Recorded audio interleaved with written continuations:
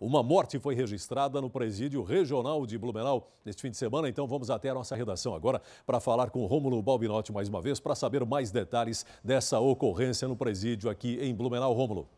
É isso, Joelson. Este caso aconteceu na tarde de sábado no presídio regional, que fica ali no final, ou para alguns inícios da General Osório, no bairro, entre o bairro Água Verde e Salto Vaisba. O Gilmar é, José Gilmar Alves, de 42 anos, acabou sendo encontrado morto numa cela, viu? Ele estava pendurado é, numa corda feita é, de lençóis e com sinais de, de agressão na cabeça. Então a polícia acredita que ele foi é, é, morto é, através de uma briga com outros presidiários.